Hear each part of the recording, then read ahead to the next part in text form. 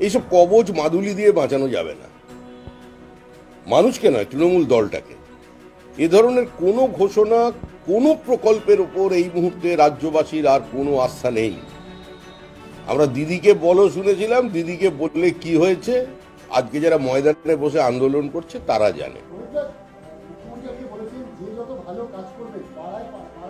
দেখো ছেলেটা কত এর থেকে বড় সার্টিফিকেট আর কেউ দেবে না।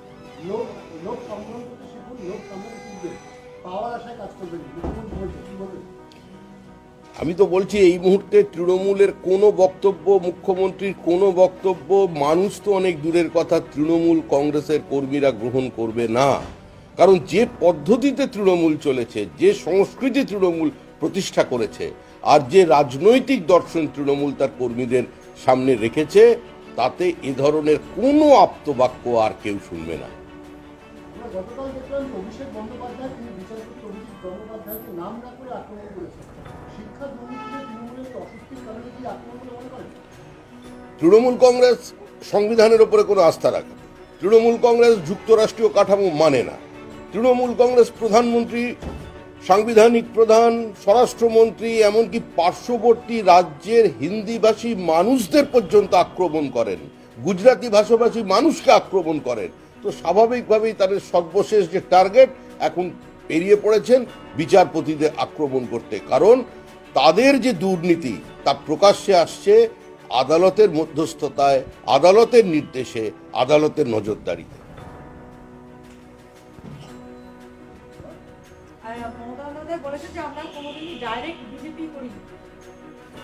ডাইরেক্ট বিজেপি উনি করতে পারবেন না। ডাইরেক্ট বিজেপি করতে গেলে একটি নির্দিষ্ট মতাদর্শের সঙ্গে থাকতে হয়। ডাইরেক্ট বিজেপি করতে গেলে নির্বাচনে জয় পরাজয়টাকে মেনে নিতে হয়। ডাইরেক্ট বিজেপি করতে গেলে বারবার নির্বাচনে পরাজিত হয়েও মাটি কামড়ে থাকতে হয় নিজেদের মতাদর্শকে নিয়ে, মানুষকে সঙ্গে নিয়ে। সেই ধৈর্য, সেই সংস্কৃতি তৃণমূল কংগ্রেসীদের নেই।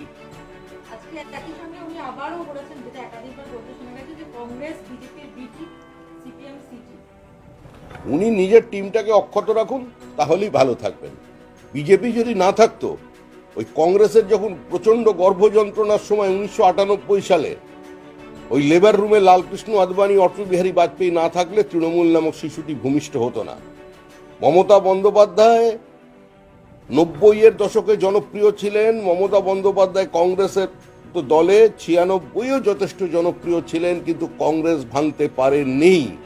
যেদিন কংগ্রেসের বিদায় নিশ্চিত এবং অটল বিহারী বাজপেয়ী দেশের প্রধানমন্ত্রী হচ্ছেন, সেদিন মমতা বন্দ্যোপাধ্যায় কংগ্রেস ভেঙে তৃণমূল কংগ্রেস তৈরি করেছেন, তিনি বিজেপি ছেড়েছেন, কংগ্রেসের সঙ্গে নির্বাচনে প্রতিদ্বন্দ্বিতা করে করেছেন আবার পরাজিত হয়েছেন আবার মন্ত্রী থেকে দপ্তরবিহীন মন্ত্রিত্বে ফিরে গেছেন, আবার বিজেপি, আবার সমদূরত্বের রাজনীতি সাথে নেই, পাঁচে নেই, আবার দু হাজার আটে কংগ্রেসের সঙ্গে আসন সমঝোতা দু হাজার এগারোয় কংগ্রেসের সঙ্গে আসন সমঝোতা।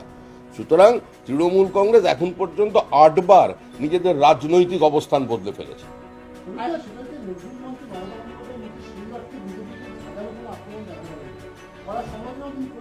নরম মনোভাব নিয়ে এটা আপনার ব্যাখ্যা হতে পারে। আপনি কি চাইছেন থানিট নিয়ে ছুঁড়ে দেবে এরবারে প্রধানমন্ত্রীর মাথায়?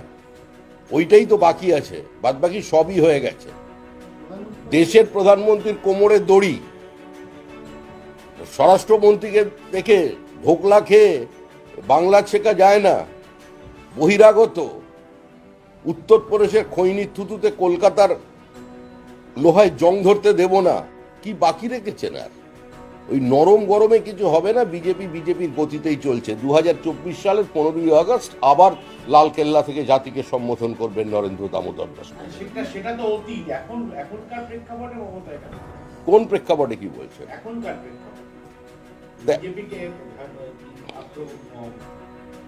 আপনার মনে হচ্ছে আক্রমণ করা কত আক্রমণ করবেন? শব্দ ভান্ডার থাকতে হবে তো। আপনি তাহলে নতুন কিছু ডিকশনারি নিয়ে ওনার কাছে পৌঁছে দিন।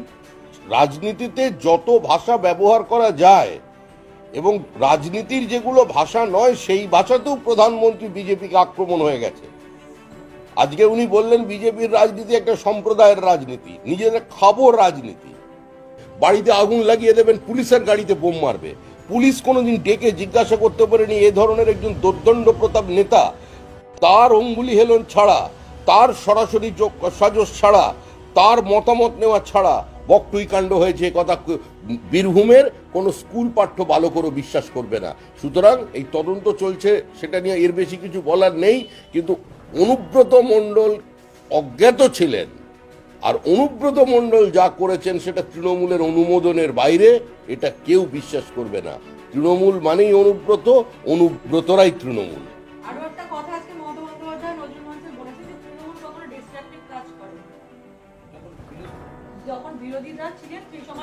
তৃণমূলের জন্মতে হয়েছে ডিস্ট্রাকশনের মধ্যে দিয়ে। তৃণমূল তো কংগ্রেস ভেঙে তৃণমূল কংগ্রেস তৈরি করেছে। তৃণমূলের রাজনীতি তো ভাঙারই রাজনীতি। তৃণমূল এখনও পর্যন্ত তো মানুষের মাথা ভেঙে বিরোধ তিনবার জেতার পরেও যারা ফল ঘোষণার সঙ্গে সঙ্গে ছাপ্পান্ন জন বিরোধী দলের কর্মীকে খুন করতে পারেন এত মানুষকে ঘরছাড়া করে দিতে পারে যারা সরাসরি প্রকাশ্যে পুলিশকে খুন করে যারা বিভিন্ন সময় গিয়ে সরকারি অফিসারদের পর্যন্ত তাদের আক্রমণের শিকার করাতে বাধ্য হয় তাহলে তাদের আবার ভাঙা ছাড়া গড়ার কাজ কোথায়? তৃণমূল দলটাই ভাঙার দল।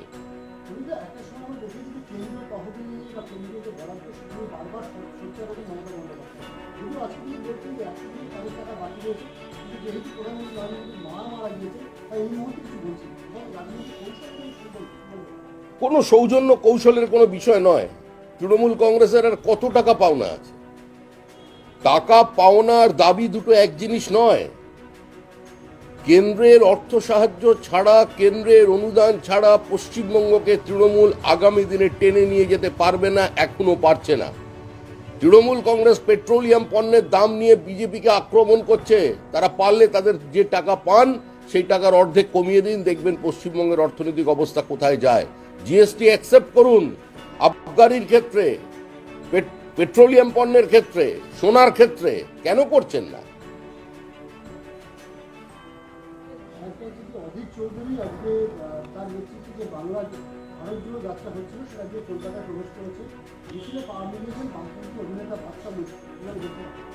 এর কোনো গুরুত্ব নেই। শূন্যের সঙ্গে শূন্যের যোগফল শূন্যই হয়। আর শূন্যকে শূন্য দিয়ে গুণ করলে তারও উত্তরটা শূন্যই আসে। আক্রমণ করেছে।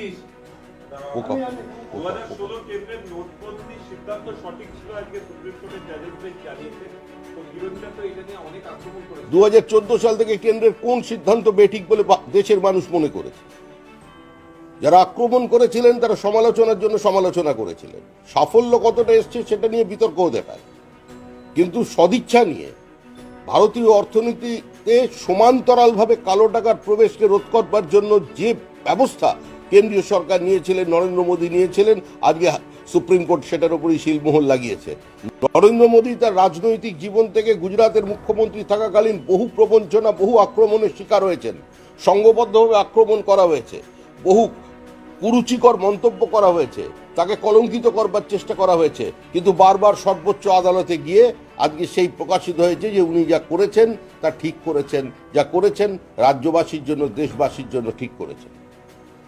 মমতা ব্যানার্জি আজকে বলেছেন যে পরি- পরিবারতন্ত্রের অভিযোগ তার বিরুদ্ধে। বলেছেন যে কেউ কাউকে সাহায্য করে না। পরিবারের চাহিদা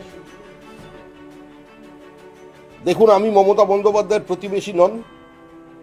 রাজ্যের মুখ্যমন্ত্রী তার প্রতিবেশী গোটা রাজ্যের মানুষ। মানুষ কীভাবে দেখেছে? আর মানুষ তার চোখের সামনে কার কার সম্পত্তি বৃদ্ধি দেখেছে? এটা তো বিজেপি বলে দিলে বা কোনো ব্যক্তি বলে দিলে তার মধ্যে কিছু যায় আসে না।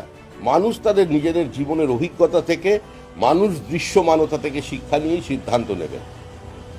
দেশে ষোলো মাসে সর্বাধিক বেকারত্ব। দেশে ষোলো মাসে সর্বাধিক বেকারত্ব।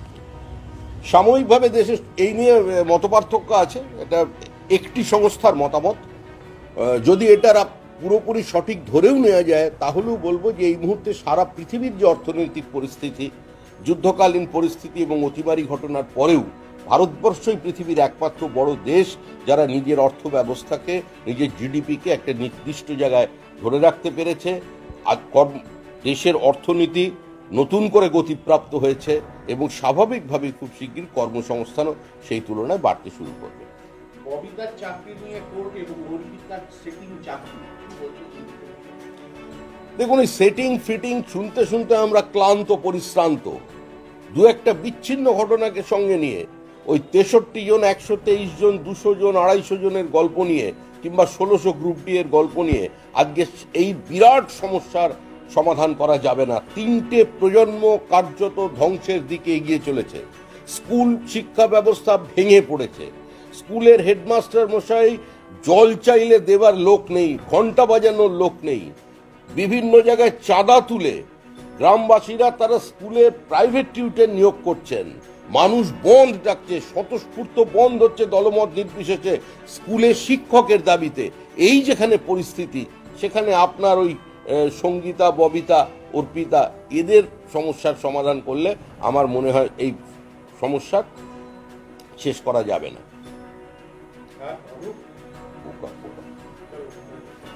তৃণমূল কংগ্রেস পক্ষ থেকে মুখ্যমন্ত্রী বারবার বলছেন যে দুর্নীতির বিরুদ্ধে লড়তে কে দুর্নীতির বিরুদ্ধে লড়বে? দুর্নীতি আর তৃণমূল সমর্থক শব্দ। বলছেন, ধান কেটে দিয়ে যে পোকায়, পোকা বাঁচতে হবে। আরে তৃণমূলই পোকা, পোকাই তৃণমূল। তৃণমূল আর পোকা এখন সমার্থক শব্দ হয়ে গেছে। যেখানে পুরোটাই পোকা, নতুন করে বাইরের পোকা গিয়ে কি করবে? কিন্তু ইমিউন সিস্টেম এর একমাত্র সমাধান হচ্ছে তৃণমূলকে জনবিচ্ছিন্ন করতে হবে, পঞ্চায়েতে না বলতে হবে, তৃণমূলের বিসর্জন দিতে হবে।